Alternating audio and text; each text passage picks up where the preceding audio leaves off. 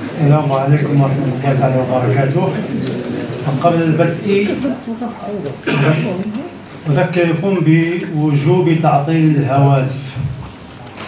ومن كانت له مكالمة فليترك القاعة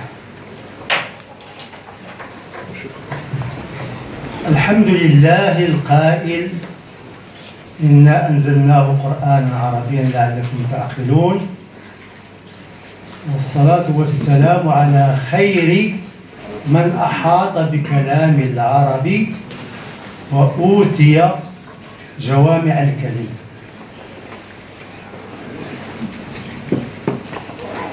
وبعد فقد اقتضت الحكمة الإلهية أن يجعل آخر رسالاته السماوية. آخر آخر رسالة السماوية مصوغة في قالب لغوي معين. ووصف الكتاب الذي أنزله مهيمنا على ما سبق من الكتب وصفه في مواقع عديدة بكونه لسانا عربيا مبينا.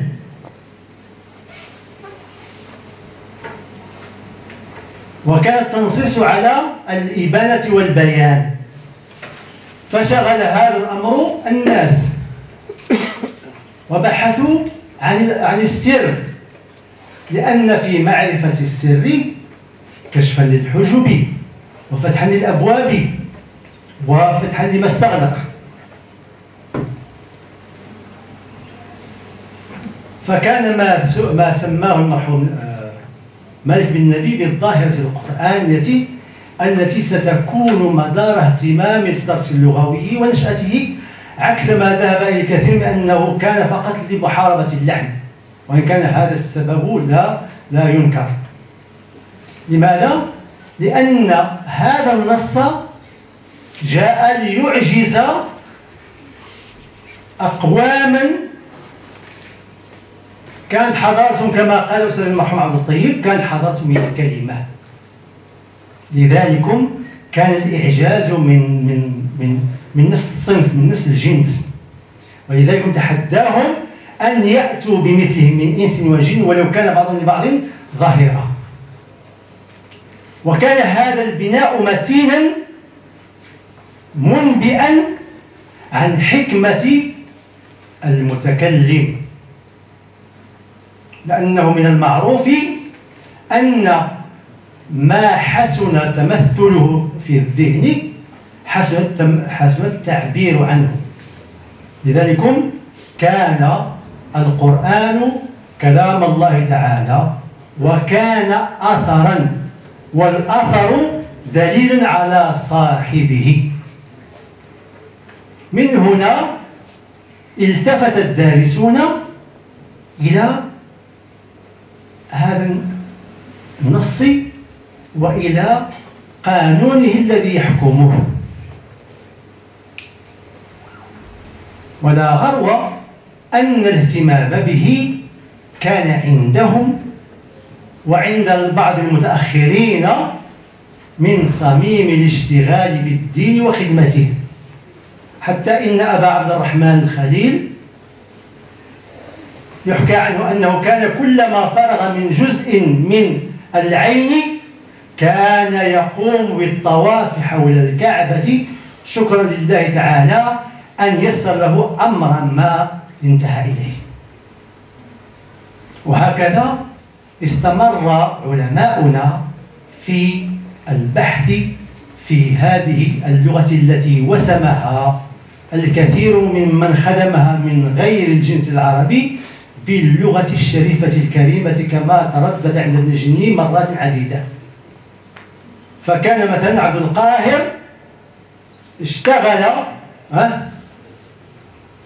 منذ القرن الثاني اشتغل بدلائل الإعجاز وحاول البحث عما جعل هذا النص معجزا.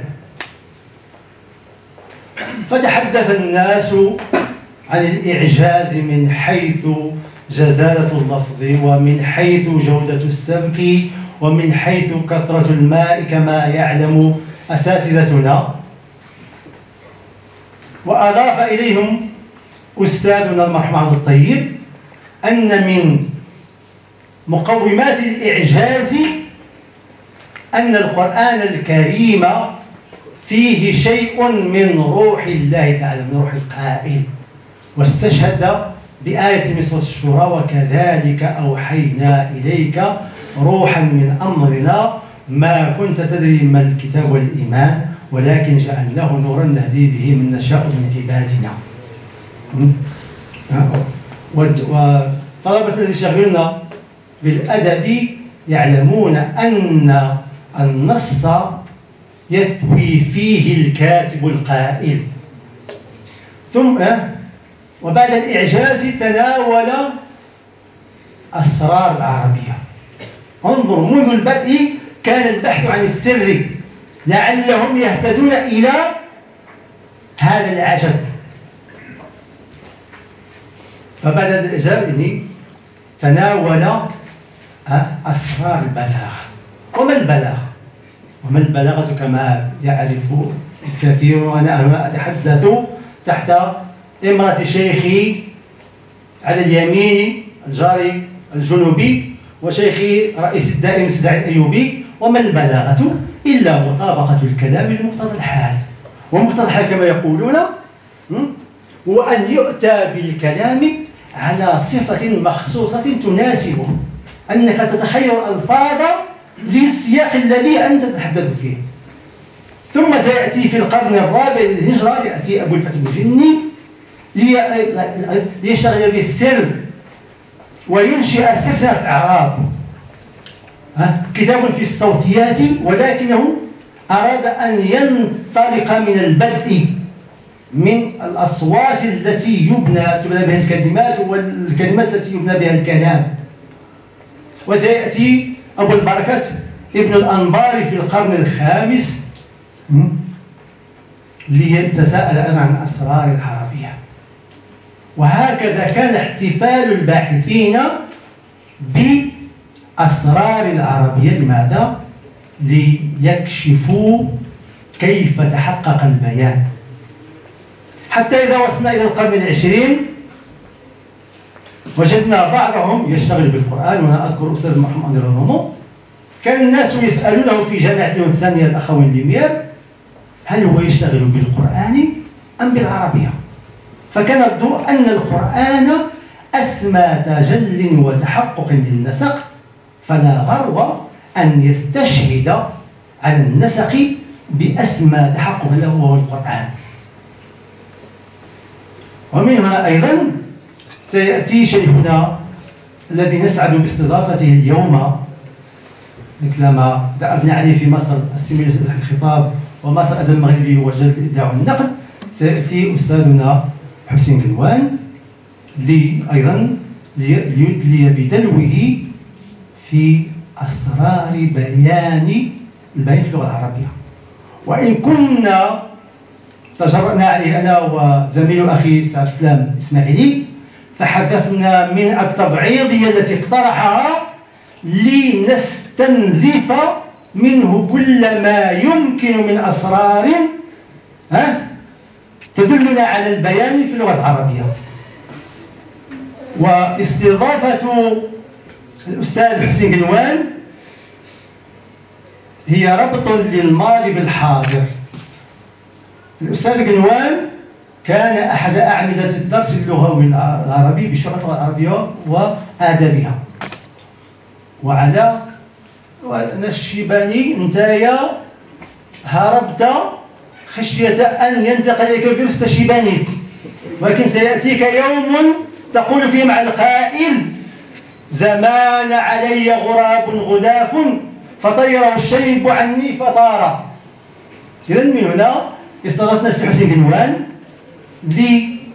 ليتعرف إليه طلبتنا يتعرفوا على أحد أعلام درس اللغة العربية في الجامعة المغربية في كلية الأدب من الناس لعلهم يجدون فيه ما نكون قصرنا في تبليغهم إياه.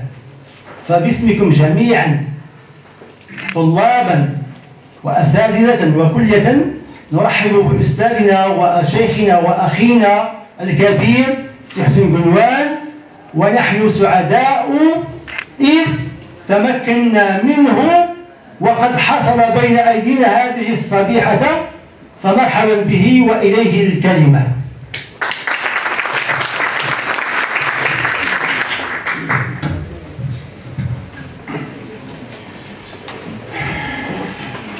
بسم الله الرحمن الرحيم.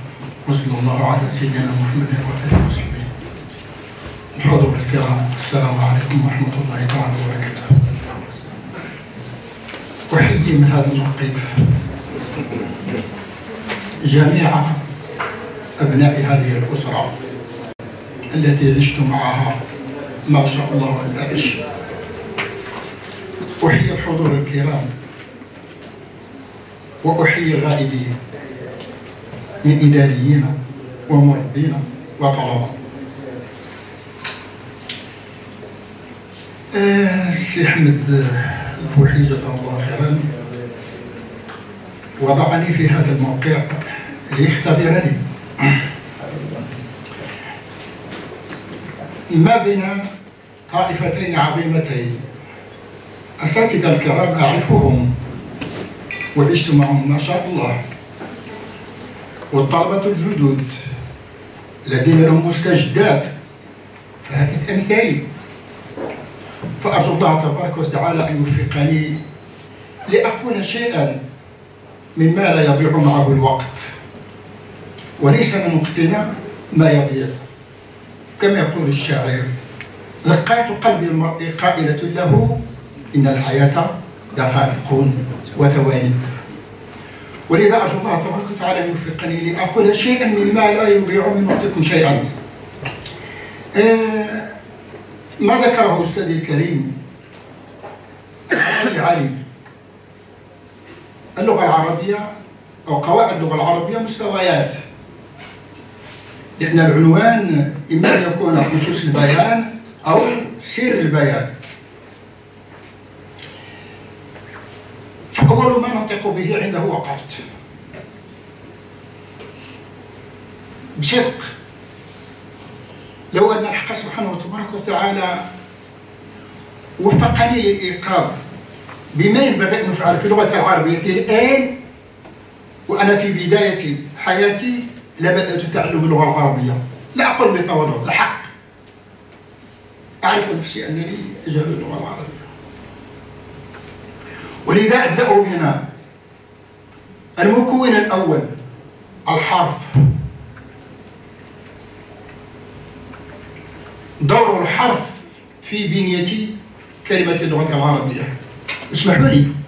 سأعطي ملخصا عام لما أريد أن أقوله لأن تفاصيل ربما قد لا يسمح الوقت بعرضها حتى نخرج على الأقل بكامل التواضع وهذا الشيء قد يكون موجودا عند السادة الحضور وعند معظمهم بالتصور العام.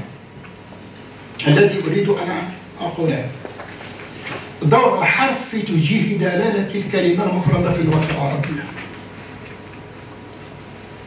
وتأثيره في المعنى المعجمي لماذا؟ لأن نظام الأبنية في اللغة العربية الثلاثية وهو موجود في المعاجم. ولا يتم التنصيص عليه. إما أن نجد كلمات متفقات في الحرفين الأولين. وتختلفان فقط في الحرف الأخير. وإما أن نجد كلمات تتفق في الحرفين الأخيرين. وتختلف فقط في الحرف الأول. وإما أن نجد كلمات تتفق في الحرف الأول والحرف الأخير وتختلف فقط في الحرف الوسط. فما الذي يوجه معنا؟ الكلمتين أو ثلاثة أو أكثر. كمصع أقول حسب حسب ما يسمح به الوقت. عندما يقول الانسان قف أقف؟ مثال بسيط. قدم خضم. القدم للقوي. الخضم للضعيف. قا ضاء ما خ. إذا الحرف تتفق الكلمتين في الحرفين الأخيرين. وتختلفان فقط في الحرف الأول. وينبغي أن ندرس الحروف أيضا حسب مخارجها وصفاتها لأن بينها تفاوت في الإيقاع في الكلمة. فالقاف ليس هو الخاء الخاء قاف. قلت لهم الله. لم يقل لنا كاتلهم الله أو ساتلهم الله. فالضرب ضاد حرف قوي.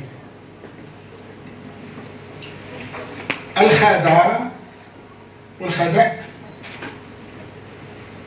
الخدع وشاق في الأذن. ولا نرضى ولكنه غير جميل. الخدع الذل الهباط وجاءت الهمزة إذا الاتفاق في الحرفين الأولين والاختلاف فقط في الحرف الأخير. اللهم اجعلنا من السعداء جميعا. سعيدة وصعيدة الحرف الأول الحرف الأخير سا. دا سا دا. الحرف الوسط هو الذي يفصل بين الكلمتين. سعيدة دلالة معنوية. وصعيدة في الحب أو الجبل الصاد هو المسجد هذه الفكرة التي أريد أن أصل إليها. وسميت هذا الحرف الحرف المحوري. في توجيه دلالة الكلمة. لكن السؤال قد يريد ربما هذا في بعض الكلمات. هذا السؤال مقبول. ولكن عندما نقرأ المادة في معاجم اللغة العربية نجد أن هذا هذه الأشكال الثلاثة أو اثنين فقط على الأقل تمثل نظاما في أبنية الكلمات الثلاثية في اللغة العربية. هي الكثيرة لماذا؟ اللهم لا جعلنا من ثقلاء لأنها خفيفة. وأفتح قويس صغير. سأعود إلى الموضوع.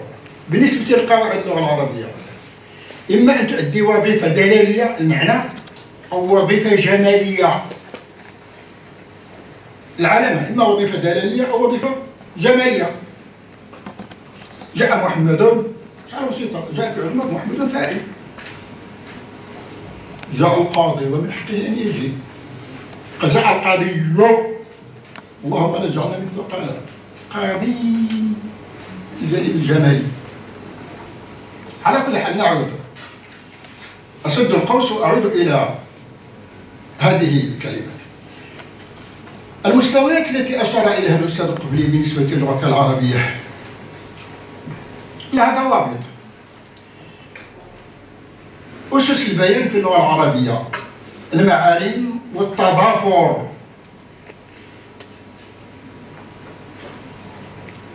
لا يكون الحرف وحده.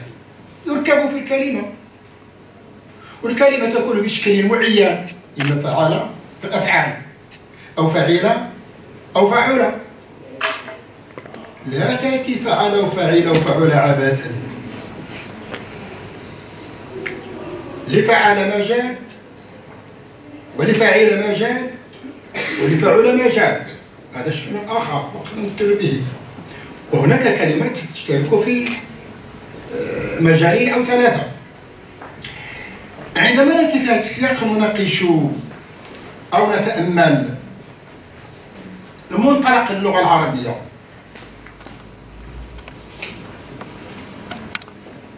منطلق اللغة العربية.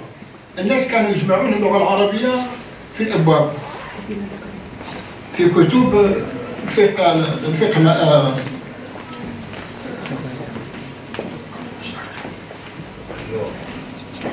اللغة فقه اللغة نعم. الذاكرة ضعيفة البطارية ضعيفة فقه اللغة. فنجد مثل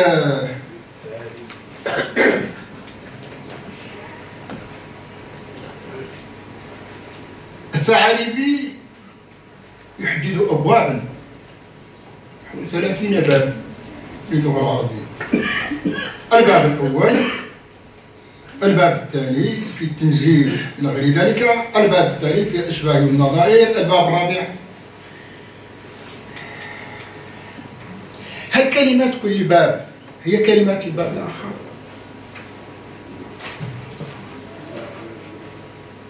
كلمة كل باب تحدد له مجال. إن مثلا عندما يقول الباب التاسع في القلة والكثرة. الباب العاشر في سائر الأحوال والأوصاف. الباب الحادي عشر في المل والامتلال. الباب كذا الباب كذا الباب كذا. هذه تحدد مجال الدلالة وتوجد في قواعد اللغة العربية. وهذا الذي أدعو إليه نفسي. عندما أقول في علم الضرب أقول لك أعطيني مصدر. تقول لي ضرب قلت قتل قل أعطيني مصدر. تقول لي قتل. ذبح أقول لك أعطيني مصدر. تقول لي ذبح. كلها تشترك في صيغة المصدر. وعندنا في علوم قياس المصدر المعادة. من ثلاثة كرد رد ومن الذي يتعدى؟ ضعيف. لا.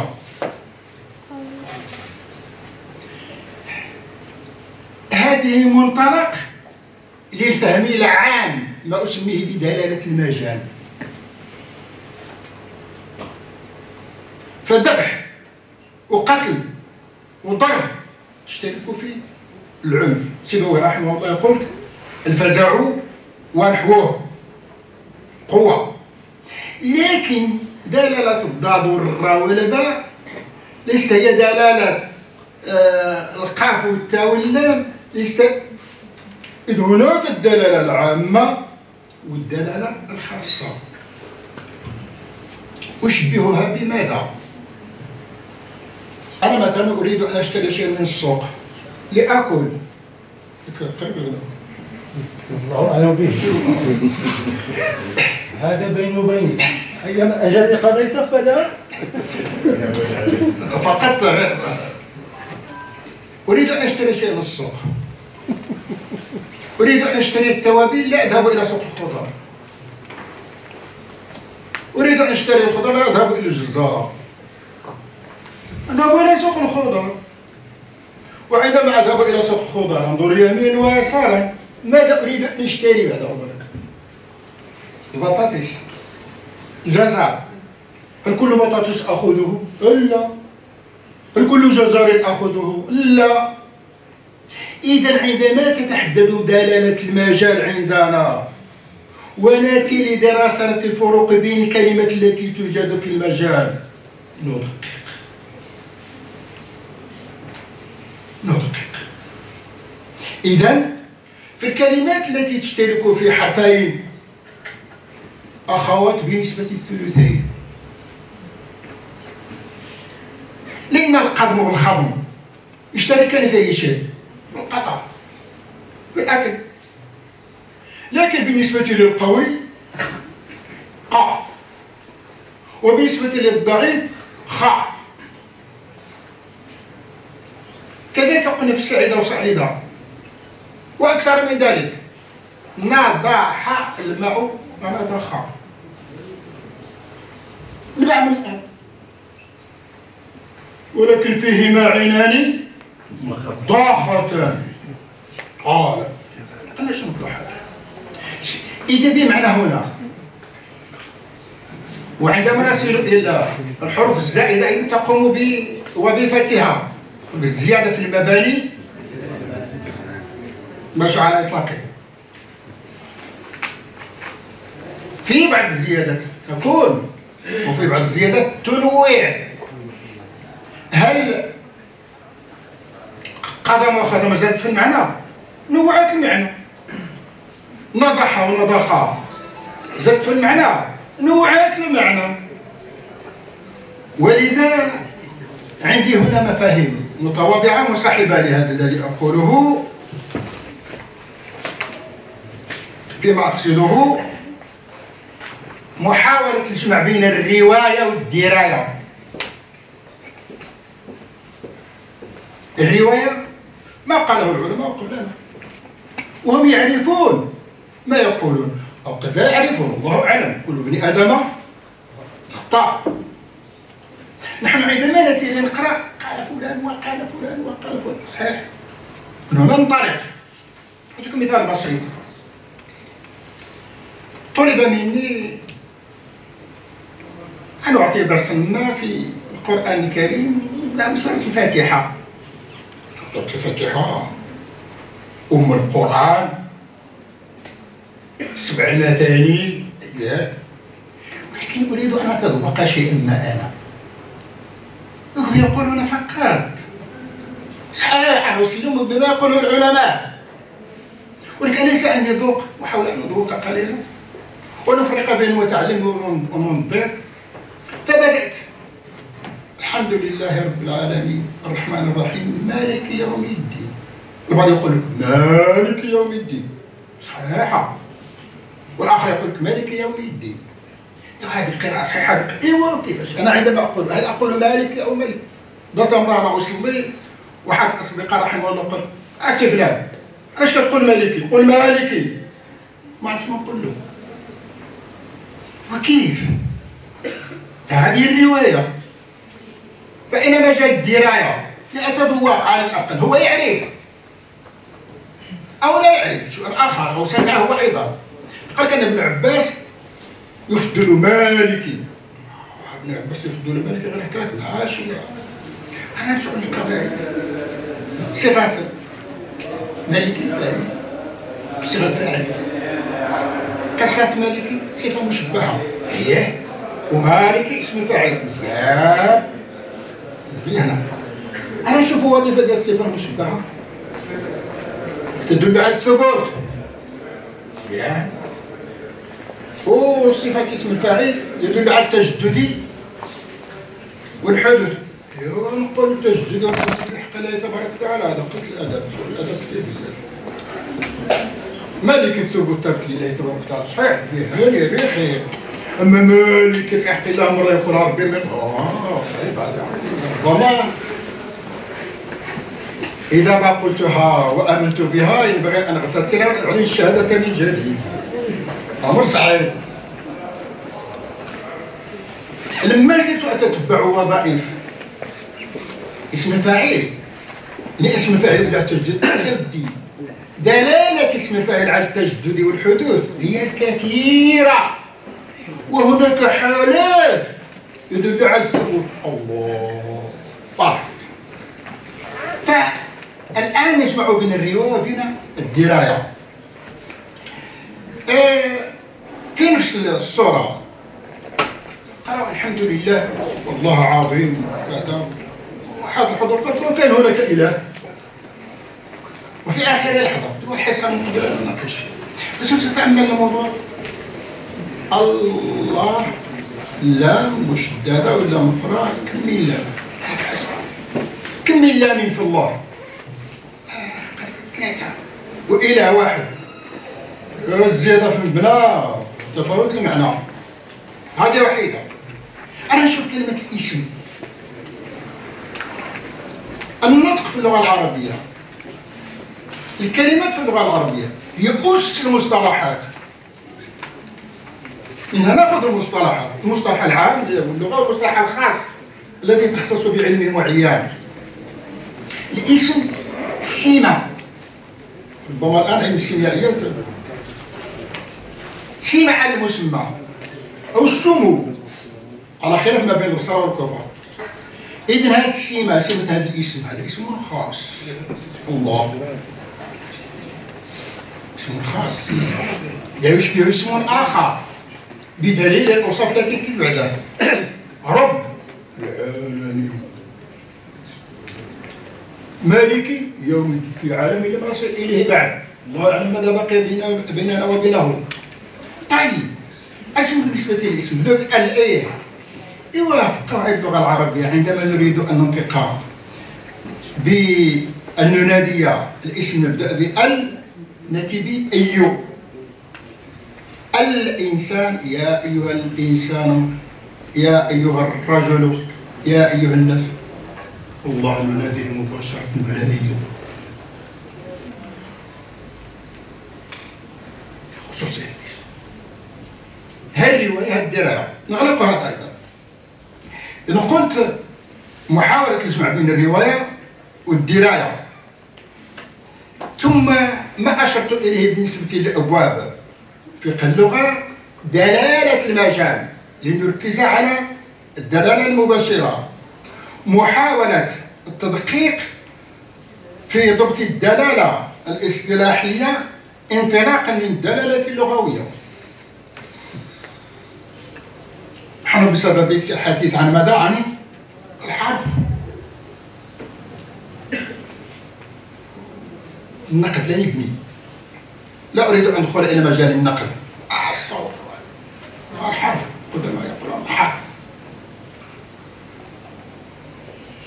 الخليل رحمه الله لما سنتحدث عن أبناء عدد الأبنية في اللغة العربية الحد الأدنى والحد الأعلى الحد الأعلى خمسة والحد الأدنى ثلاثة. قال كان اسم اللغة العربية لا يقل عن ثلاثة أحرف. حرف تبتدئ به الكلمة وحرف تحشى به الكلمة وحرف آخر. والحرف في الدلالة هو الطرف منه حرف الجبل. معنى أن المصطلح مأخوذ من علاقة اللغة بالواقع. ربما إن أصبت عندما عندما أسمي ابنتي فاطمة وإن كنت لا أشعر أرجو لها أن تكبر وتتزوج وتلد وتطيب عندما أسميها سعيدة أريد أن تكون سعيدة. عندما أسميها زينب شجرة طيبة الرائحة ربما تسميات مأخوذة من الواقع. هذا أيضا قوي صغير. الشعور بالانتماء الحضاري المتميز. وهذا لا يمنع في التعامل مع الآخرين أبدا. يا أيها الناس إنا خلقناكم من ذكر وأنثى وجعلناكم شعوبا وقبائل لتعارفوا. إذا التدقيق في ضبط الدلالة الاصطلاحية انطلاقا من الدلالة الحرف عندنا في اللغة العربية الحرف؟ الحرف الأول والحرف الثاني والحرف الثالث ولكن الصوت وارد. الصوت وسيلة. والحرف غاية. ابن جني رحمه الله صور جهاز النطق عندنا مثل المزمار. قال تقول الصوت آه آه آه. عندما تضغط على ثقب معين يعطيك حرف. إذا الصوت وسيلة والحرف غاية. الصوت عام. لما دخلت الصوت؟ دخت. صوت الإنسان أصوات الإنسان أصوات الحيوانات أصوات الكائنات. وعند الإنسان أصوات. إذا نادى صوت إذا كان نايم ويشخر صوت؟ إذا كان آه! صوت. صوت. إن هذا المصطلح الغير مضبوط عندما نطلقه على الحرف ربما ما نعرف له نظر. إذا التدقيق في الدلالة اللغوية لربطها بالدلالة الاصطلاحية. هذه معطيات عامة لنصل إلى دلالة الحرف في بنية الكلمة الثلاثية. سنعطي بعض الأمثلة نقول بالمثال يتضح المقال. الحرف هو أس جميع القواعد.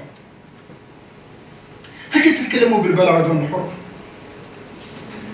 هل تتكلموا بالتضمين دون الحروف؟ الحرف هو المنطلق هو الأس العام. الخليل رحمه الله لما لمس وظائف الحروف قال انا معجمنا هذا بحرف العين. هذا كلام اخر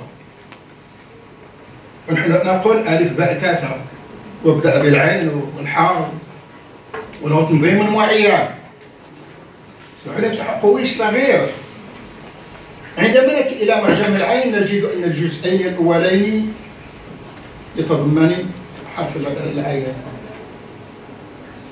جزئين نجد جزئين من ثمانية. لم يرتب الخليل ذلك أبدا.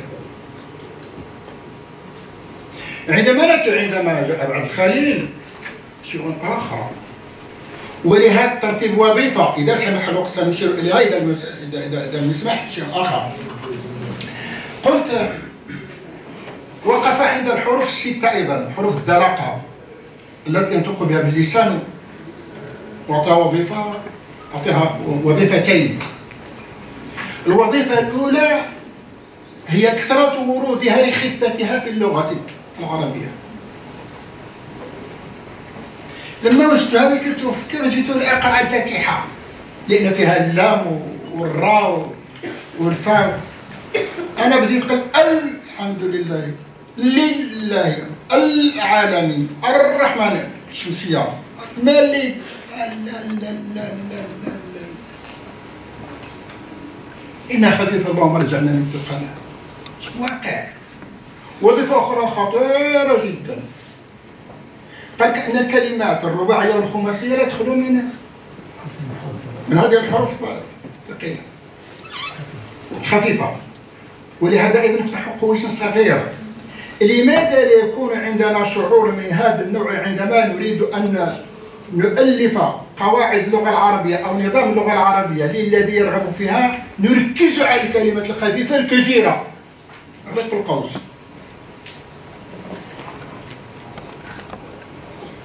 وظيفة أخرى قال كأن هذه الحروف هي التي تميز بين الكلمات العربية والأجنبية.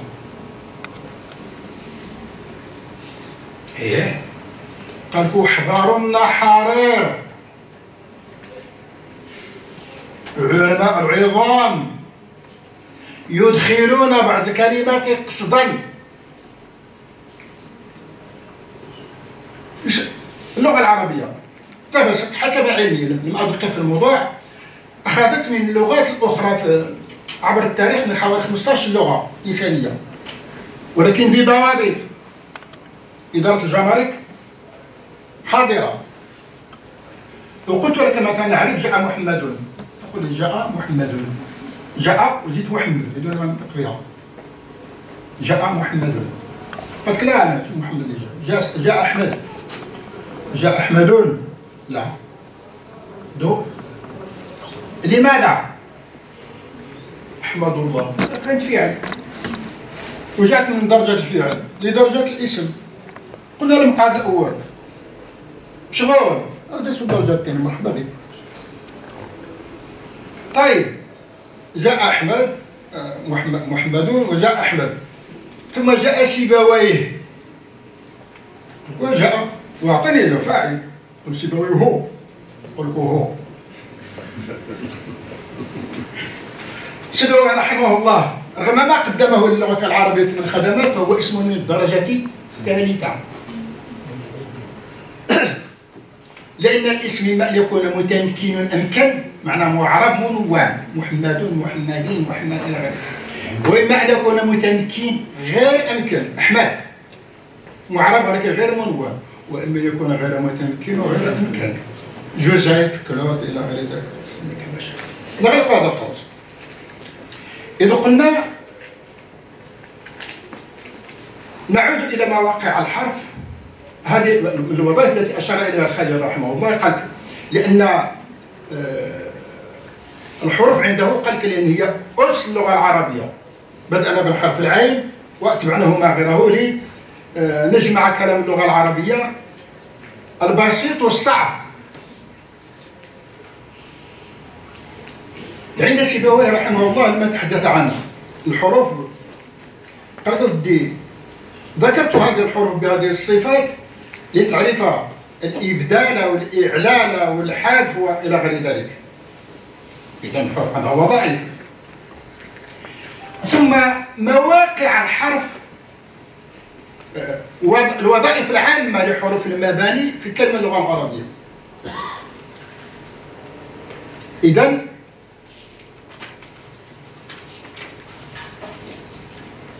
الحروف اللغة العربية تنقسم إلى ثلاثة أقسام حسب الوظائف العامة الموجودة فيها. الوظيفة العامة الأولى أن كل حرف يقع في أول كلمة وفي وسطها وفي آخرها. باستثناء الألف. 28 حرف. إما أن يأتي في أول كلمة والأمثلة موجودة إذا سمح له أقرأها عليكم. أو وسط الكلمة نفس الحرف. أو آخر الكلمة. وبما أن كل حرف له مميزات خاصة. يخرج من آه، نقطة معينة. معنى أن إيقاع الحرف الوحيد ثلاثي في دلالة الكلمة الثلاثية. إذا كان قوي. قوي واحد اثنين ثلاثة. هذه وظيفة عامة باستثناء ألف قلت هناك تفصيل بعض الحروف تقف عند هذه الوظيفة. وهي 12 وبعض الحروف تجمع بين وظيفتين. وبعض الحروف تجمع بين ثلاثة وظائف. سأذكرها. إذا الحروف التي تقف عند الوظيفة الأولى تكون أصلية فقط. الباء الثاء الحاء الخاء الذال الراء الشين الضاد الطاء الغين القاف الكاف. هذه وظيفتها واحدة في أول الكلمة وفي وسط الكلمة وفي آخر الكلمة. النوع الثاني أو هذه 12 حرف النوع الثاني من الحروف ثنائية الوظيفة. تقوم بهذه الوظيفة وتضيف لها وظيفة واحدة أخرى. وعددها ثمانية. الجيم الدال الزاي السين الصاد الطاء العين الفاء.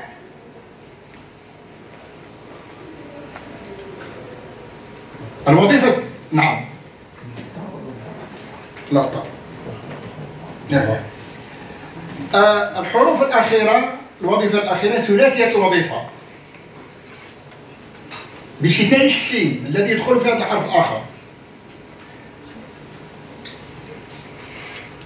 الهمزة التاء اللام الميم النون الهاء الواو الألف الياء. تعليق العام الملاحظ أن الوظيفة الأولى تشترك فيها كل حروف. هي أول كلمة ووسط الكلمة وآخر الكلمة. هنا فتح قوس صغير. قد يقال بأننا نجد بعض الحروف تشترك في الصفات. صحيح. فكيف نفرق بينها إذا ما جاءت في حرفا محوريا في كلمة واحدة؟ وهنا نعود إلى مقارنة بين تنظيم الخليل لمخارج الحروف وتنظيم سيبويه. وما بعد ذلك؟ أشير إلى فقط لأن الوقت لا يسمح. الخليل بدأ بحرف العين الحاء الهاء الخاء إلى غير ذلك. والغريب أن عدد الكلمات في كثرة التناجر ابتداء من العين ترتيبيا. الوسط وقع خلل نسيت ربما يكون من ناحية النقل أو شيء من هذا القبيل. لما وصلت إلى حروف العلة قليلة لأن خليل قسم حروف اللغة العربية إلى قسمين. 25 لها إحياز ومخارج. وأربعة هوائية. حرف العلة الثلاثة والهمزة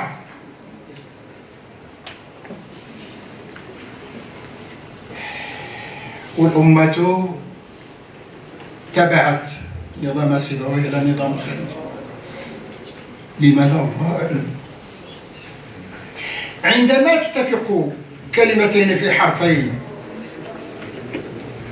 وتختلفان في حرف واحد في حرف واحد نريد أن نقارن بين الحرفين لنعرف الفرق بين كلمتين. وقد نجد بعض الحروف تتفق في الصفات. آه، كيف نميز بينهم نعود إلى المخرج. الخليل رحمه الله رتب الأحياج الحيز مجموعة من الحروف تخرج من حيز واحد. حرفين أو ثلاثة أو أربعة. ورتب الأحياز بفعل بحرف ثم الذي يفيد الترتيب والتراخي. هذه بعد هذه واستعمل في الأولى صيغة أفعال. العين. أو لا لا لا, لا. حرف اللغة العربية. عند سيبويه وغير سيبويه لا نجد هذا.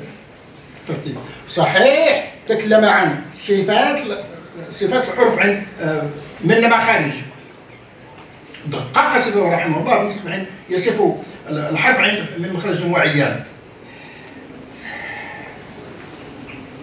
لكن لم يرتب بفوات ما والمخرج قد يتغير.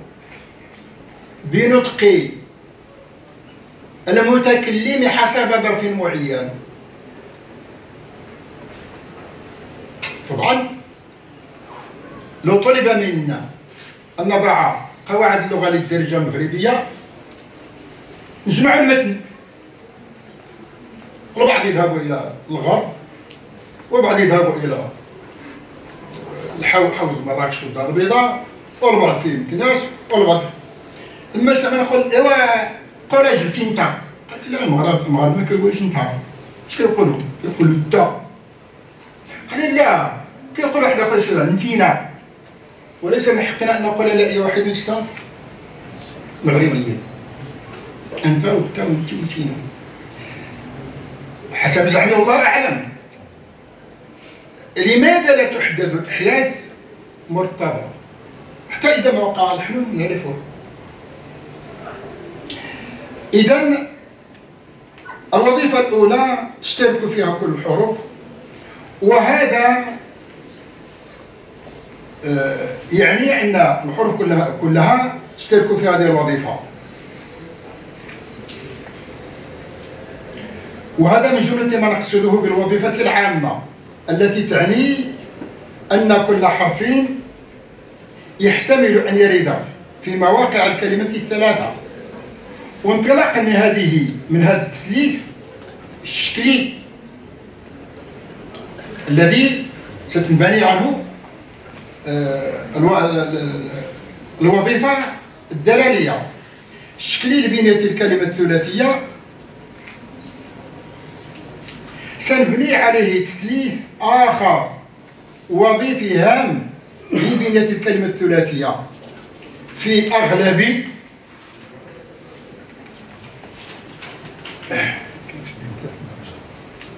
في أغلب مادة المعجم في اللغة العربية.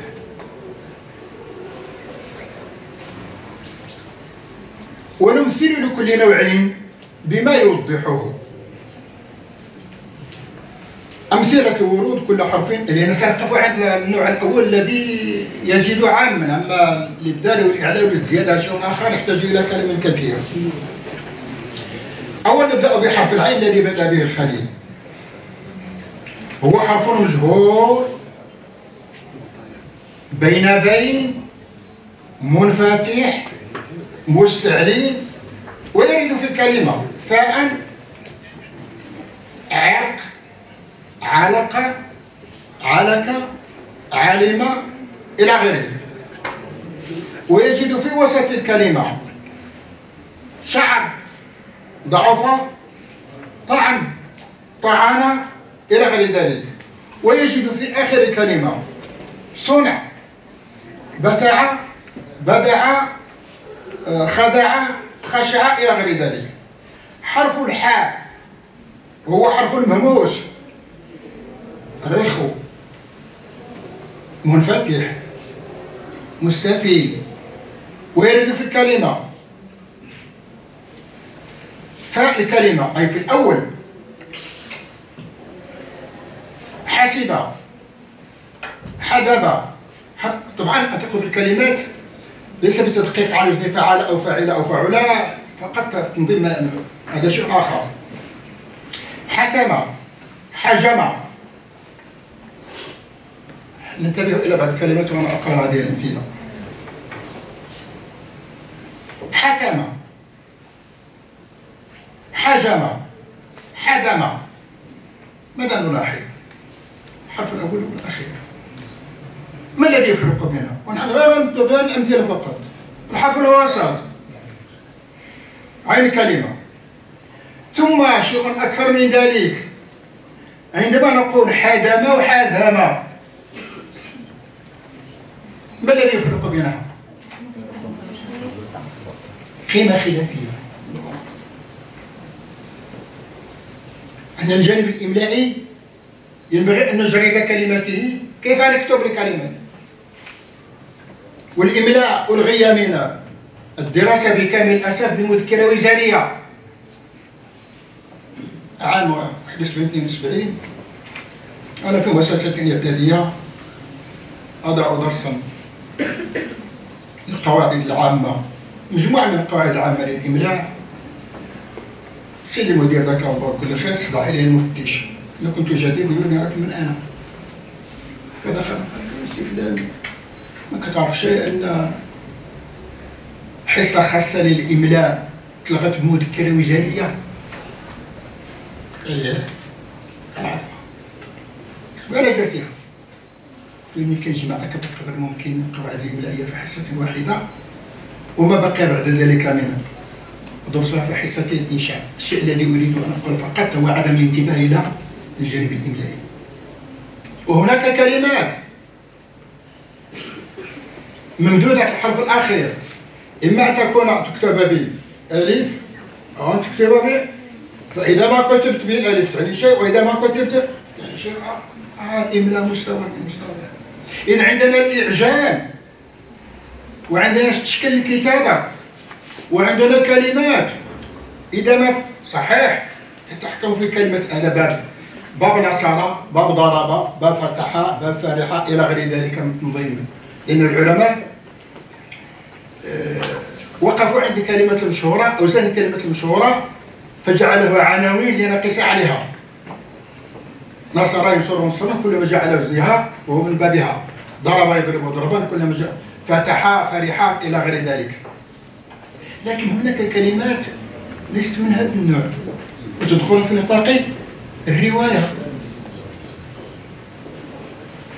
الجد والد الأب والجد ضد اللاعب والجد عند العرب البئر ذات الخرب وإنه تعالى جد ربنا. إذا لابد من الرواية. وأحيانا وقل بغى يبغي بغاء بغاء.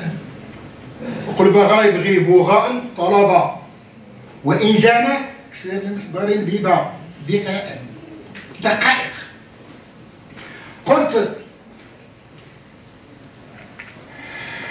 ربما إذا ما استقرت الفكرة الآن وهذا الذي أريد على الأقل أن كل حرف يأتي في أول الكلمة وفي وسط الكلمة وفي آخر الكلمة أه حرف الحاء كما قلت. حسب وحدب حرب إلى غير ذلك وقفنا عند حاتم الحرف الأول الحرف الثاني. عين كلمة سحر شحر بحر جحم إلى غير ذلك لام الكلمة صبح صلح ذبح. ذبح ذبح. الدال الدال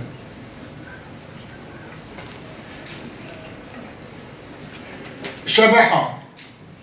صباح ضباح أكررها فقط بعض الكلمات. لا. آه،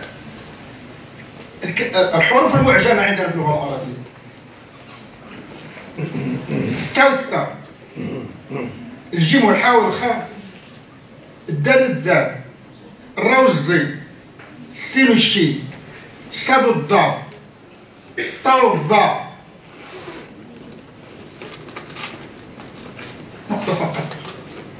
تغير بينهم وتعطينا حرفا جديدا بحيث لو استطعنا أن نغير الشكل بالنسبة لحروف اللغة العربية لاختصرناها إلى أقل عدد ربما إلى 20 أو أقل من 20 من الحروف ال- ال- التي تذكرها ب- ب- ب- بالتنقيط حرف الهاء هو حرف مهموس. رخو منفتح مستعلي خفي. ياتي فعل كلمة هدم. هدب. هدب. هدر. إلى غير ذلك. في وسط الكلمة. عهد. شهيد. بهجة إلى غير ذلك. اللام الكلمة. شبه. بدها تاه. حرف الخاء. وهو حرف مهموش رخو. منفتح مستفيل يأتي فعل كلمة.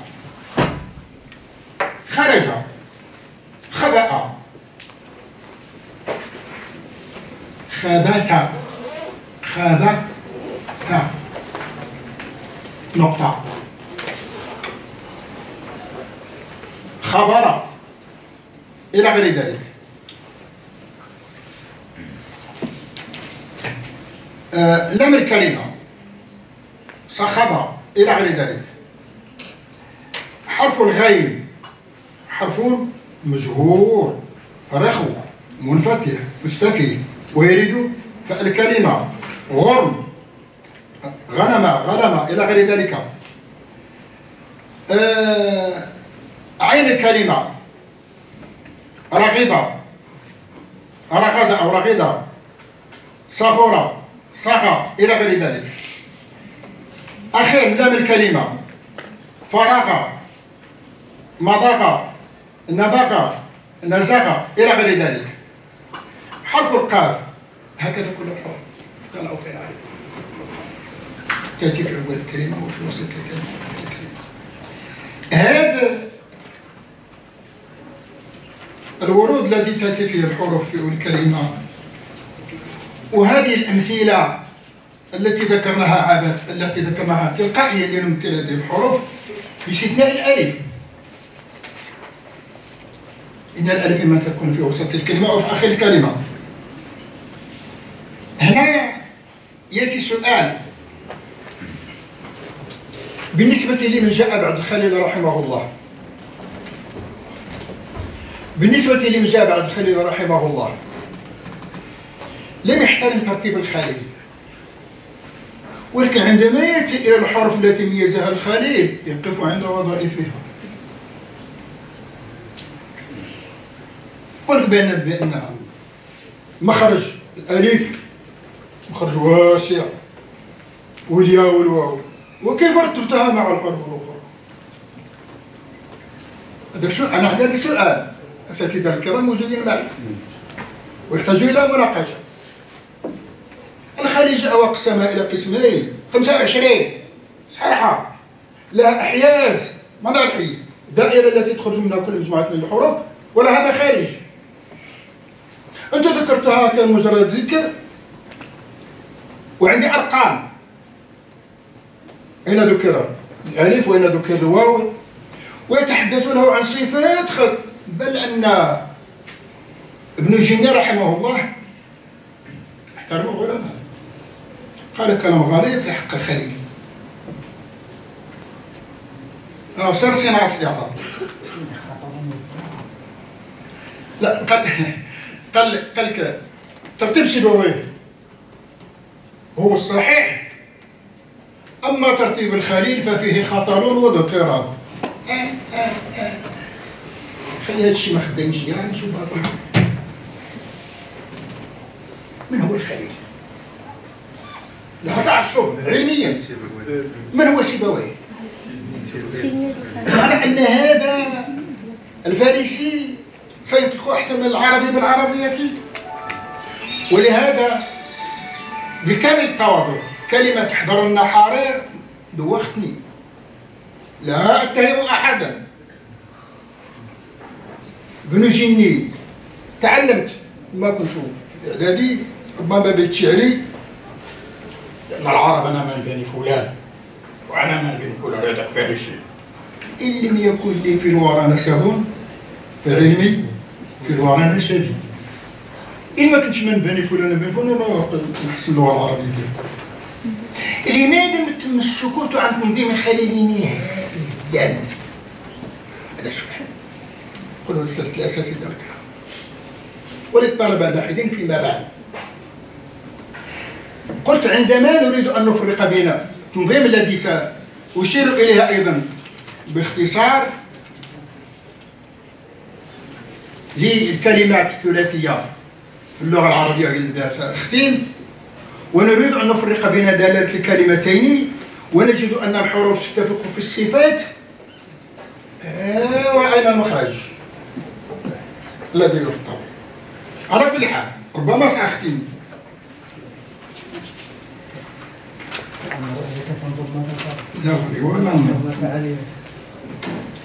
آه، المادة التي أنا سميتنا بها فقط نجد فيها آه، عوامل علامات أربعة كلمات متفقة في الحرفين الأولين تختلفان في الحرف الأخير فقط. كلمات متفقة في الحرفين الأخيرين وتختلفان في الحرف الأول فقط. كلمات تتفق في الحرف الأول. والحرف الأخير وتختلف في الحرف الوسط فقط. كلمات لا يفرق بينها إلا إعجام ينبغي أن ننتبه إليه. باستثناء حروف العلة في الأخير التي يحد فيها لأمثل لها. بعد هذا أشير فقط ربما أختم بهذا. تصنيف حروف المباني وفق وظائفها كما يلي.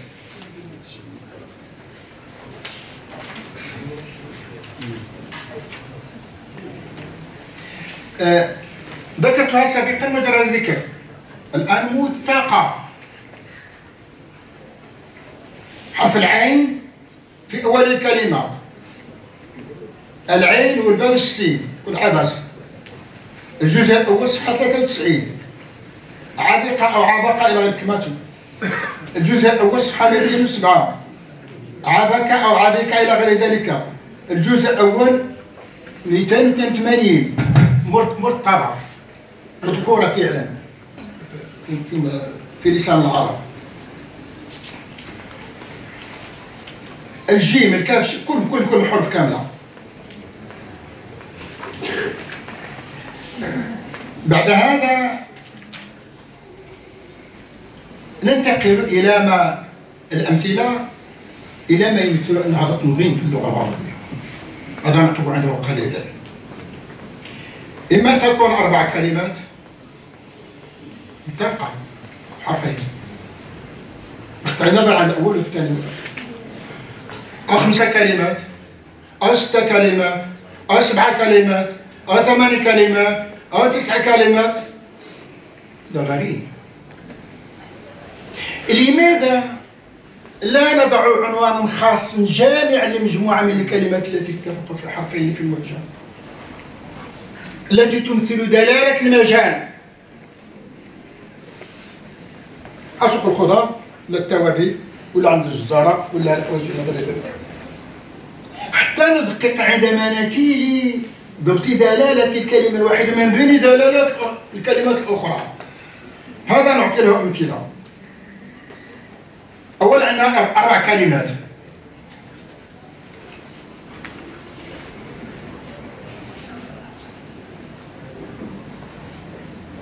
الكلمات المتفقة في الحرفين الأولين راعاج ومتقى.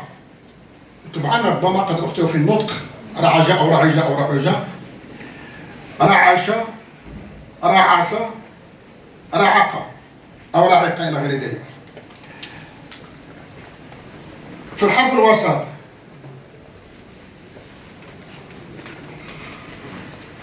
بعد منها كلمات متفقة في خمسة أحرف. بعج بعص بعض بعع بعق إلى غير ذلك.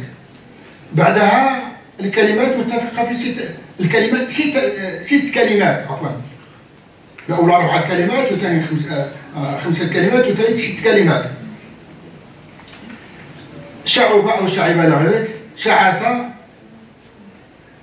شعر شعف شعر إلى غير ذلك. الحرف الأول أمثلة الحرف الأول ومتفقة في الحرف الأول والثاني إلى غير ذلك. ومتفقة في المعجم. رابعا الكلمات متفقة آه، سبع كلمات متفقة في الحرفين. الأولين جعد جعر جعس جعظ جعر جعل جعل إلى غير ذلك.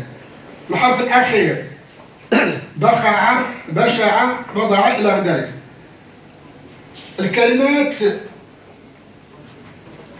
ثمان كلمات متفقة في حرفين. إما في الأول هبع هجع هدع إلى غير ذلك. الأول والأخير سادسا كلمات سبع كلمات متفقة في الحرفين. سبعة. آه عجب عجج عجب إلى غير ذلك. عشر كلمات متفقة في حرفين. 11 كلمة متفقة في حرفين. ثم أخيرا 13 كلمة متفقة في حرفين. 14 كلمة متفقة في حرفين. هذا ما يفرق الدراية بعد الرواية.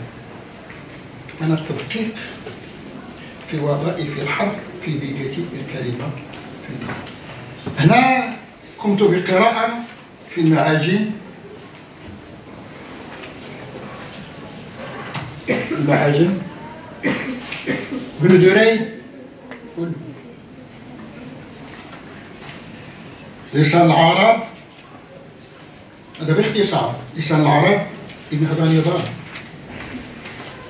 لماذا لا تضبط دلالة الكلمات في سياق الكلمات التي تتفق معها في حرفين؟ لأنها تتفق بنسبة ثلثين. لماذا لا نعود إلى ضبط دلالة الحروف قبل الكلمة. لندرك إيقاع الحرف في بنية الكلمة عندما نطق به.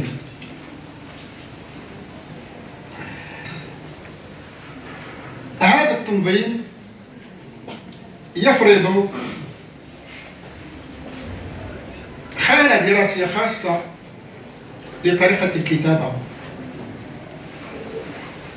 وخانة دراسة خاصة مستوى خاص. لدراسة الحروف. وخانة خاصة لكلمات ثلاثية بالخصوص المتفقة في عندما نصل وهذا سبق لأوانه عندما نصل إلى حروف الزيادة أيضا لها وظائف. إذا معناه باختصار سأختم أن دلالة الحرف في بنية الكلمة اللغة العربية الثلاثية بالخصوص وسنصل إلى الكلمات الأخرى قبل دلالة الصيغة شكل البنية كما رأينا في ضرب. وفعال قتال. القيام بالشيء. هو وظيفة معينة. فعول سكت. إيه؟ سكوت قعد. جلس. أدفع المجد عبادة لها وظائف إذن هذا ما أدعو نفسي إليه وأدعو طلبتنا نرجو الله التوفيق لهم. وليس من الضروري أن أخذ كل شيء في يوم واحد. لا. كأننا نعبث بالتلج كويرة صغيرة وأدفعها أنا غادي واحد نروح لك لا أطيل عليكم والكلام في الموضوع لا يزال. الحرف الذي فقط أختم بأن الحرف الوحيد يسميه الحرف المحور. الحرف المحور الذي إما أنه يصنف المعنى أو يجعله في دلالة من القوى معينة أو يعطينا معنى جديدا وهكذا حسب تنوع الكلمات. وأسمحوا لي بهذا. الكلام أقول قولي هذا وأستغفر الله عليكم السلام عليكم ورحمة الله تعالى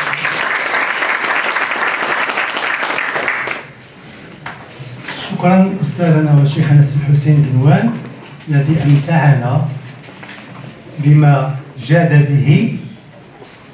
ويبدو أنه اختفى أثر الذين بدأوا من حيث ينبغي البدء من الوحدة الدنيا. وكأنه أبو الفتح الجني يحدثنا عن التقاليد الستة وكون المعنى يعني منطلقا من الحروف عندما تجتمع بغض النظر عن ترتيبها في الجذر عندما قال فكأنها مادة صيغت في أشكال مختلفة. فعلى الذي يشتغلون في الدرس الحديث بالاعتبار أن يتركوا هذا الأمر جانبا. لقد انطلق من أن الحرف يؤثر في المعنى. وقد يكون كلامه يتقاطع ومسألة القيمة الخلافية أو ما يسمى الحد الأدنى مينيمال عندما نغير حرفا بحرف فنحصل على كلمة جديدة. فيكون الأمر متعلقا بفونيم مختلفين الآن بعد أن استمعنا إليه جاء جاءت فرصة الرد وقد أخذ علينا موثقا أن لا نسلمه للنحارير الجهابذة وإنما هذه فرصة صلة الرحم بأبنائنا وبناتنا الطلبة والطالبات. لذلك استقر الرأي على أن يكون الحوار بين شيخنا السي حسين وأبنائه وحفدته لهذا سنكتفي ب بأسئلة الطلاب وملحوظاتهم وعليهم أن يقتفوا أثر الحجاج في الخطبة. فلا داعي إلى المقدمة الطلالية. شكرا. شكرا. أستاذي الحديث عن آه، ابن جني الذي قال بأن آه، سيبويه هو الصحيح وأن ما أشار إليه الخليل هو فقط اضطراب وخطير.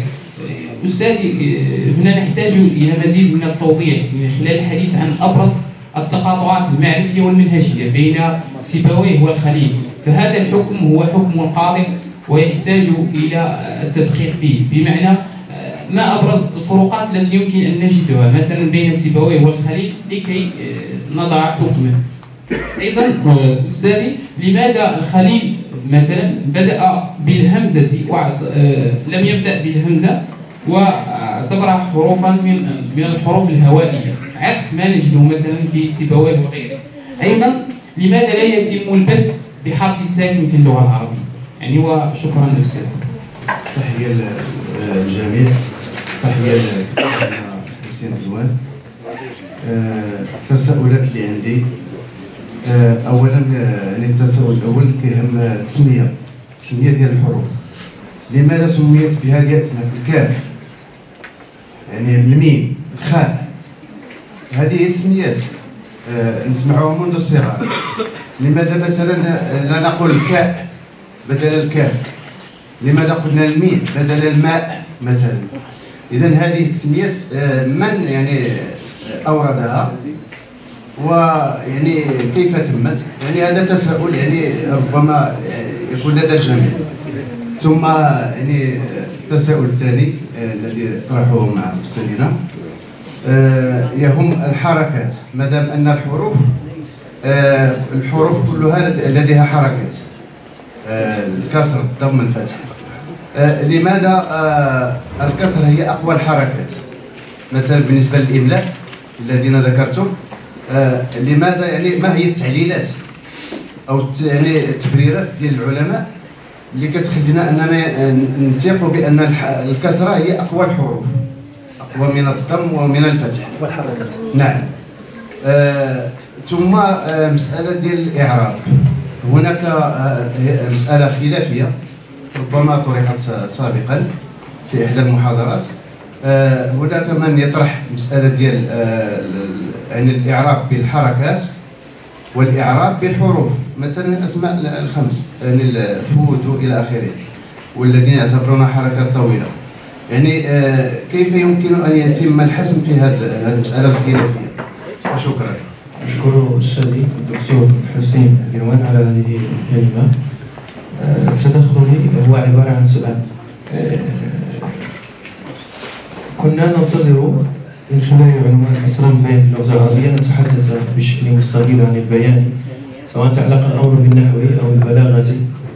آه، خصوصا لكنكم أثرتم الحديث عن الحرف باعتباره أصغر وحدة دلالية سؤالي الثاني. انطلقت من تفييء للحروف انطلاقا من التشابه سواء بين حرفين أو حرف واحد.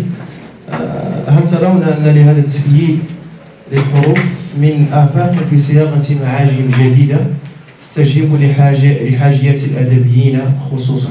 وشكرا. شكرا. إذا الآن جاء حق الرد. فله أن أو نفضل أن يجمل إذا أمكن الإجمال حتى لا نرهقه أكثر.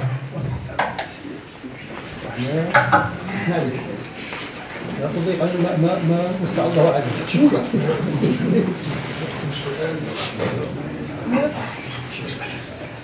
يعرض عليك كل واحد ضرب تجاوب شكرا جزيلا لطلبتنا فتح الله عليكم.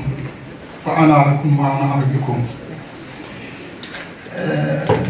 لم أكن أشعر بضيق أن أسمع من زملاء الأساتذة الأفاضل. بل بالعكس أنا أريد أن أسمع من أساتذتي الفاضل لأراجع نفسي. فإذا ما أخطأت أصحح الخطأ. كل لآدم خطأ وإذا ما أصبت أن يشجعني البعض منهم. وإذا ما كان عندني نقص أن أستفيد منهم وأريد منهم أن ينصحوني إما الآن وإما فيما بعد. لأن هذا موضوع يعنينا جميعا ليس لي. إذا ما كان النجاح فهو نجاح حضاري للأمة ماذا أسوي أنا أمامها؟ آه بالنسبة لتساؤلات الطلبة الأفاضل أفضل أن كل إثر كل سؤال أجيب لأن البطارية ضعيفة بعض الشيء. حتى أقول وجهة نظري فيما طرحه الطالب من من تساؤل ومع ذلك سأحاول وأرجو من السي أحمد الفوحي أن يساعدني بالنسبة لتوضيح الأسئلة السؤال الأول السؤال هو كيف نعتبر الألف حرفا؟ آه. لا الألف هناك آه. ما قلت كل شيء ما وقفت عند وظيفة الألف بصفة إجمالية كما تحدث عنه ابن الجني مما أعتبره بتواضع أنه ناقض نفسه في مخالفة ترتيب الخليل. خلق كذا حرف هوائي وجاء ابن الجني أيضا يصف هذا الحرف بأنه حرف هوائي. ولماذا رتبته مع الحرف غير هوائي هذا سؤال. لأن هناك أشياء أثرتها أنا أيضا بالنسبة لي تساؤل لا لي وحدي بالنسبة للأساتذة المتخصصين جزاهم الله خيرا. من أنا؟ ولكن السؤال يشغلني عندما يقول لك أن ترتيب سيبويه هو المعتمد كذا أما ترتيب الخليفة في خطر واضطراب. لما احتجت إلى التفريق ما بين دلالة كلمة وكلمة بوصف حرف معين ووجدت أن الحرفين يتفقان في الصفات. احتجت إلى المخرج. صحيح أن هناك أوصاف دقيقة عند سيبويه صحيح أن هناك دراسة ممتازة عند ابن جني الذي سمى الحروف وأسس آه قل لي الإعراب. سر.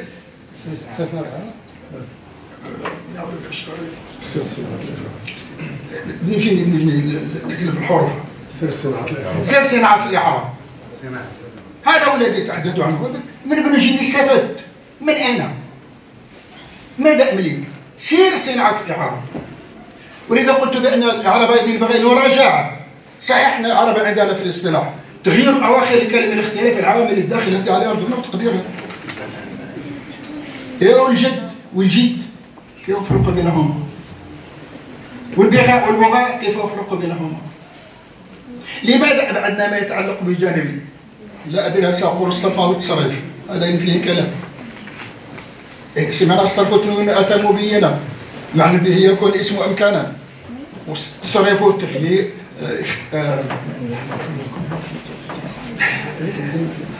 تغيير الأصل الواحد إلى أبنية مختلفة لضروب من المعاني.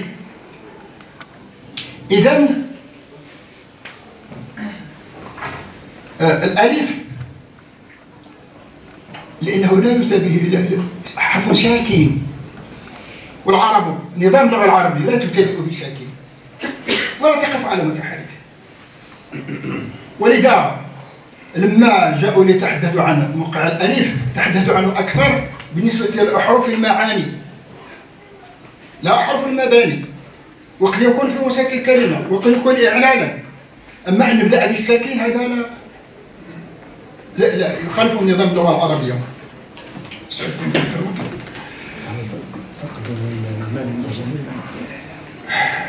لا لا جانب الدلالة هو ما تدلنا عليه آه، العلامة التي نقف عندها. المعجم هي اسم عام. أعجم بمعنى أبانا. وهنا أذكر مسألة. لنفرق بين عجم وأعجم وقف عندها.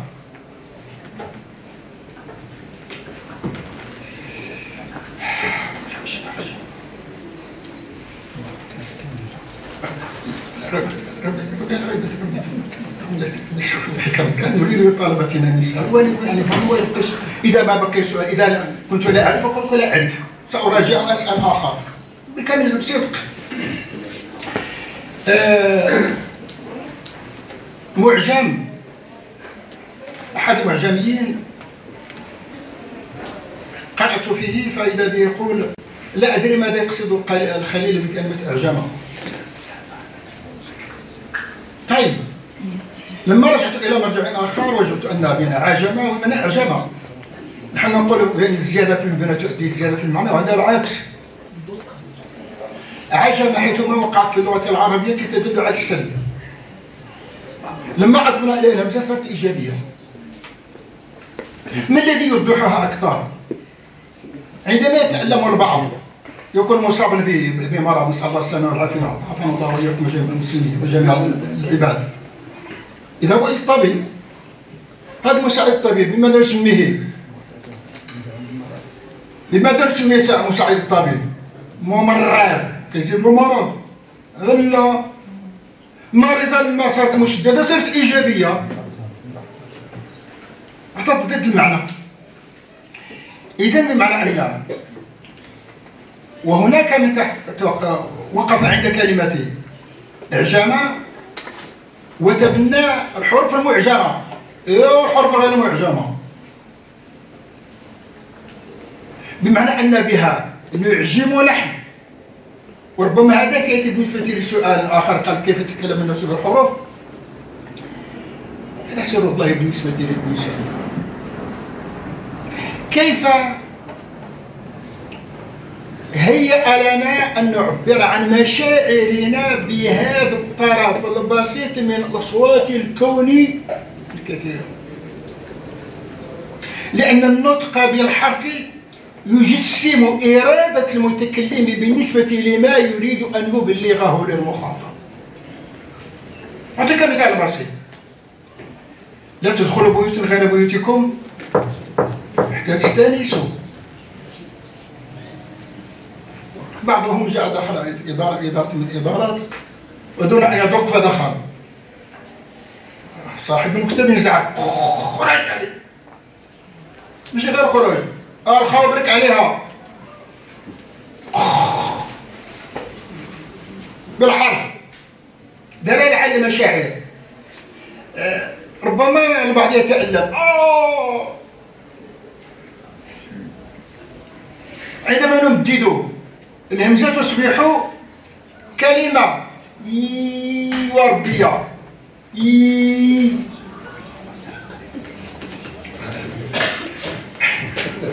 وعلى كل حال الموضوع لا يزال فيه ما يقول ما يقال مما استحضرته ومما استحضره ومما يفوتني. لأن هذه لغة الشافعي رحمه الله. لا يحيط باللغة إلا نبي. على كل حال. كان كمال سأل عن تحديد المعنى قبل إعجاب اللغة أه، لا أه صاحب القواعد لا صاحب القواعد من ذاته وإنما يصف الكلام عن الطبيعيين الذين ينطقون به طبيعيا ويستنتج منه قواعد. العرب طيب ربما عندما تتحدث بالأمازيغية الآن في اللهجات لا أقول كل شيء إما بالريفية وإما بالزاينية وإما بالشمسية أمازيغية قريشية هذه وعلى كل حال. ثم ربيعة ها قريش. أمازيغ قل ما شئت وعند مناقشة يكون يكون أه هل تقول له لماذا قلتم كذا ولماذا قلتم كذا؟ هكذا تعلم. ولكن لكي نعلم الذي لا يعرف هذه اللغة أن يتعلمها. سمعنا من هؤلاء كيف ينطقون وكيف يرفعون ولماذا يجرون ولماذا؟ هذا وضعنا له ضوابط وأعطيناها للذي لا. ليلحق بهؤلاء الذين يتعلمون اللغة العربية. أما وعلم آدم الأسماء كلها. وهذه طرح السؤال العريض العلماء يتحدثون علمهم كذا وعلمهم كذا. كثير من الكلمات الآن تجدها متجددة ذات مرة نتحدث مع الناس قلت عندما نقرأ نقول يهدي الصراط المستقيم. الصراطات بالإنجليزية ستريت ستريت الأمازيغية؟ أبريد أغراس. الفرنسية؟ ريد علاش لاحظت هذه الكلمة؟ قصد واحد. لماذا؟ أليس من بقى الله أعلم. أليس من بقايا ما علمه الله لي؟ الآن بالنسبة للأمازيغية والعربية هذا عنوان الأمازيغية والعربية. بين وحدة الأصول والاحتكاك الحضاري. تجد كلمات عربية تنطق كما تنطق المازيغية فمعرفة الإنسان كما خلق الله تبارك وتعالى لما صار يعقل صار ينظم الأمور لكي يتداول بها بالنسبة لحياته. تعطيني سؤال فضلك تحدث لماذا من خليل بهمزة؟ أه لا لا لا. أنا أسأل الآن. آه، ابن جرير رحمه الله يقول كأن الخليل وضع معجمه لأهل زمانه ابن جرير جاء بعده. صاحب الجمهرة وضعه لأهل زمانه وهذا التعليل لم يكن عبثا. هذه الإيجابيات التي توجد عند الخليل في الترتيب مما نحتاج نحن اليوم هي التي تجعلني أسأل لأن عندما آتي إلى الكلمات المتفقة وتفرض نفسها في نظام اللغة العربية الكلمة الثلاثية وأريد أن أفرق بين دالة الكلمتين. وأجد كما أشرت بعد إشارة المتواضعة أن بعض الحروف تتفق في الصفات فأريد أن أفرق بين الكلمتين إلى أن يكون المخرج؟ لا إله إلا معناه أن السيد كان عنده تصور خاص. الأساسي. ولما جئنا عند سيبويه عندما تحدثوا عن صفة الحروف بدقة. عندما تحدثوا عن العين يقول لك من صفته بين بين. ما معنى بين بين؟ هي هي ولكن معنى كبير. الوساطة. وكذلك جعلناكم أمة وسطا. لماذا؟ حكم جميل. بالنسبة للمخرج ربما أن طريقة النطق. عند الخلق العلم ما كانش في الاسلام موظف هذا علم. لا.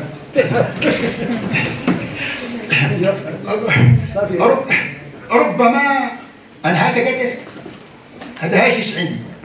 أن النطق عند الخليل ماشي النطق عند الذين جابوا منها ومن ممكن أن نلاحظ هذه المسائل بالنسبة لمجتمعاتنا فيما بعد التطور الذي يقع قل إن شاء الله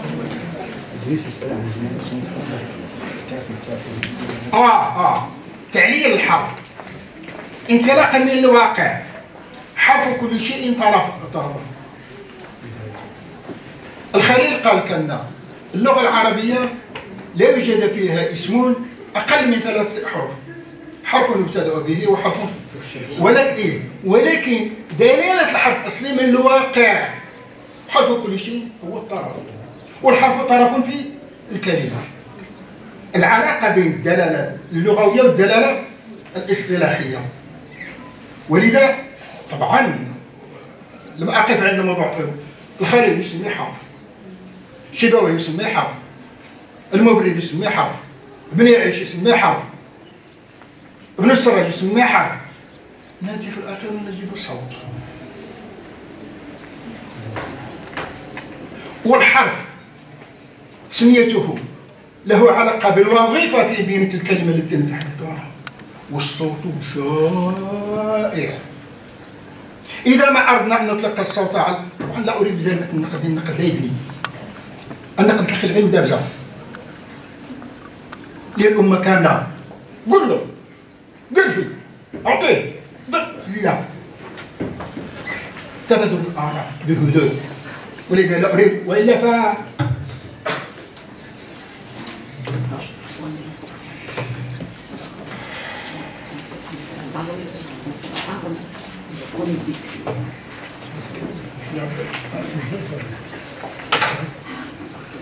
لا مش هذا لا.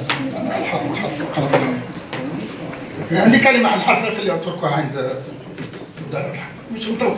معناه لماذا الحرف هكذا لمدة قرون؟ فجاء وسمي صوت وعندما نريد أن ننزله على الجانب الوظيفي نجد إشكال. الحرف للإنسان والصوت للإنسان ولا غير الإنسان. الصوت وسيلة والحرف غاية. بالصوت يتحقق الحرف.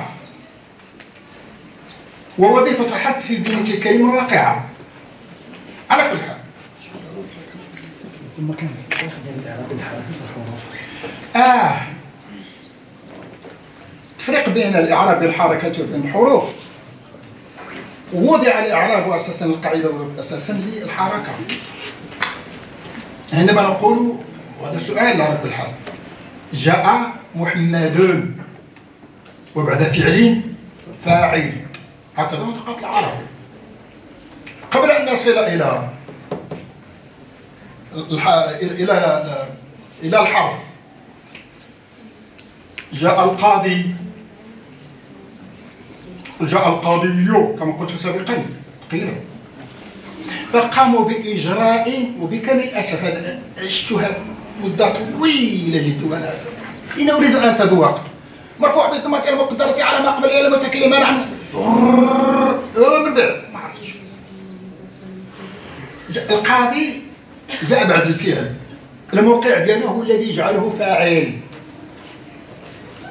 ولكن نظرا لوجود الياء ثقيلة والجانب الجميل في اللغة العربية لا يسمح بالنطق بالثقل ولذا قلنا مرفوع بالضمات المقدرة على اخره منع من ظهرائه الاستثقال طيب لماذا تبقى هذه المره جاء موسى حتى يجي فاعل لأنه بعد فعل مرفوع آه كيف نثبت له الرفع يا سيدي نقوم باجراء نجعله انه يستحق انه فاعل معنوي قلت فلان جرت عليه الشركة الشركة مشى كتمشى قال لا شخص اعتباري هذا فاعل. لأن الموقع هو الذي جعله فاعل. فنقوم بإجراءات لنثبت لنثبت أنه يستحق الرفعه لولا هذه العلة التي توجد فيه. ربما تقول هذه العلة لماذا؟ أنواع الأسماء في اللغة العربية. صحيح الآخر والمعتل الآخر. لأن اللغة العربية انفتح سيدنا موسى عليه السلام. وهذا موضوع وحده طيب هذه المرة لم يجي إلى القاضي ولا موسى. طبعا مرفوع بالضمة المقدرة منع مدورها التعذر. يتعذر علينا أن ننطق بالضمة والألف موجود. ما يمكنش. طيب هذه آخر. من حقه أن يجي. أيوا كيف أقول؟ مرفوع بالضمة المقدرة على كيف أثبت له أنه فاعل؟ بالضمة المقدرة على منع الاشتغال مع الذي الحركة المناسبة للياء. علاش تدري غير عبثا؟ الاختصار جل مقصود العرب لذا أتوا بمضمر وبالنسب. إيه جاء أخ جاء اسمي لا إيه حبيبي. طيب انتقلنا من الاسم المفرد إلى المثنى جاء الرجلان. فجئنا بهذا الألف وعلامة رفعه. ألف لأنه مثنى وديك النون وراه عندها وظيفة جمالية. بدل ما نقول جاء رجل رجلان مسلم مسلمون. مسلمات مسلمات مسلمات. الجانب الجمالي. فقلنا أيضا وقمنا بالإجراء لإثبات على أن هذا مرفوع. وموقع الرفع هو هذا الألف. وهكذا بالنسبة للحركات نلحق الإجراء نلحق الحركات الحروف بأعراف الحركات ونشرح المعتلات لنلحقها بالتي وضع من أجلها الإعراب. شكرا لاستاذنا حسن الذي لا نمل مجالسته ولا محادثته ولولا قيود لاستمررنا في النقاش والحديث إليه فباسمكم جميعا نشكره جزيل الشكر على ما تفضل به. وقبل رفع الجلسة سيقدم السيد عميد الكلية الأستاذ أحمد المحمودي لشهادة تقديرية إلى أستاذنا سي حسين قنوان فليتفضل مشكورا.